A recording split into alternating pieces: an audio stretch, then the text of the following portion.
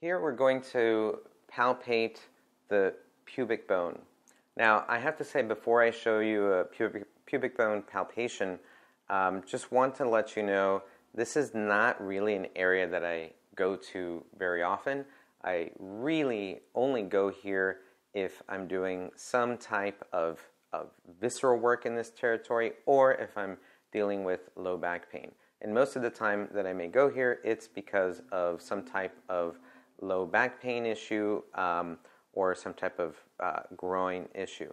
So this is not a place I go to very often, but I feel that this is a place that um, it's kind of one of the boxes that I that I check off if I'm uh, working with a client that's got low back pain and I'm not able to uh, bring about a, a satisfactory resolution by working SI joint or working lumbar spine um, pubic bone is kind of the, the last box that I, that I tick off. One of the reasons I work pubic bone is that it may help, let's say for example I'm, I'm already working in pubic bone like this, that it may help my work in uh, SI joint. I may be working the pubic bone in conjunction with work in the SI joint or in other parts of the ilium. So it's uh, most often not just pure work here on pubic bone it's done in conjunction with working other parts of the pelvis. That being said, to palpate pubic bone, the way I do it is I actually don't even use my fingers. Sorry, Mr. Otto, I'm using my fingers uh, uh, to, to do it on you. But I use the heel of my palm, and I imagine the pubic bone uh, being on either side of the heel of my palm right here. Okay, so what I do is I start off by having my hand on the client's abdomen.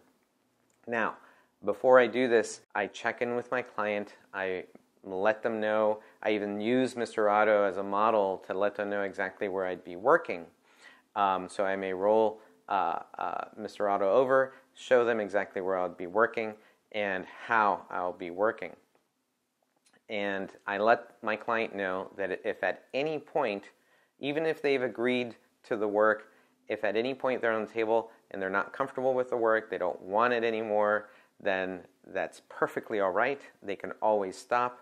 They'll let me know, you know, however they want to let me know, and we can stop the work in the area. I think it's very important to let your client know this so that they feel comfortable in getting work in such an intimate area, basically.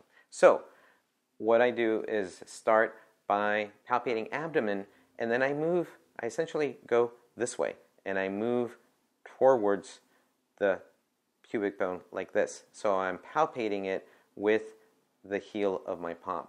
I'm going to put a little bit of pressure here and hopefully you'll be able to see the white marks that it leaves on the heel of my palm right there. They were there for a little bit. Let's do it again.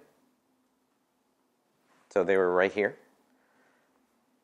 And here's where I feel for any type of shearing, any type of, of uh, lateral shifting in the pubic bone. And I may even ask the client, do you feel this if I put a little pressure this way? Do you feel this if I put a little pressure the other way? So that they are aware of, of where I am, um, the fact that I'm on bone, and they are um, getting a little bit more awareness of their pubic bone.